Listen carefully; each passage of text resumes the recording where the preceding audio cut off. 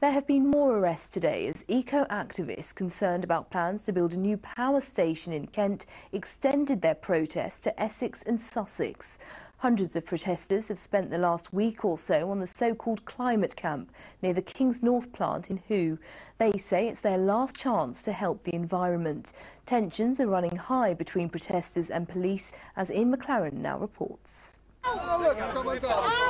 This could be a taste of what's to come as protesters from the climate camp block the road leading to Vopak, a depot in West Thurrock used to store biofuels bound for service stations across the southeast. Eight protesters used lock-on tubes to make it difficult to remove them as they lay joined together on the ground, refusing to move. Soon there was a queue of more than a hundred tankers unable to get in or out of the plant. Essex police eventually moved in and forcibly dragged the protesters off the road. We were very quite quite violently um, pulled apart by the police and there could have been some really really nasty injuries. Fortunately my thing clipped so I only ended up with a cut rather than a dislocated shoulder. More protesters managed to scale a large silo on the site and unfurl the 30-foot banner proclaiming their message. They remained on a ladder, refusing to come down.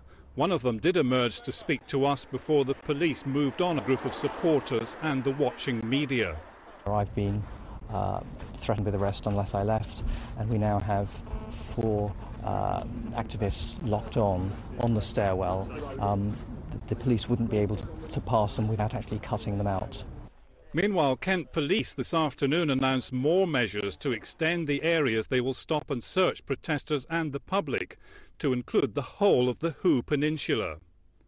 The force's Assistant Chief Constable also announced that a bylaw has been introduced to stop a climate camp regatta planned for Saturday on the River Medway because of safety concerns. I can tell you honestly, this is about ensuring the safety of the overwhelming majority of law-abiding residents and protesters in that locality. This isn't about penalising anybody, this is about ensuring people's safety and ensuring the safety of my officers. Climate Camp representatives said the new measures wouldn't alter their plans for the weekend. Back in West Thurrock, today's protest came to an end with at least nine arrests. Amid torrential rain, the banner came down, followed by the protesters. Ian McLaren in West Thurrock for Meridian Tonight.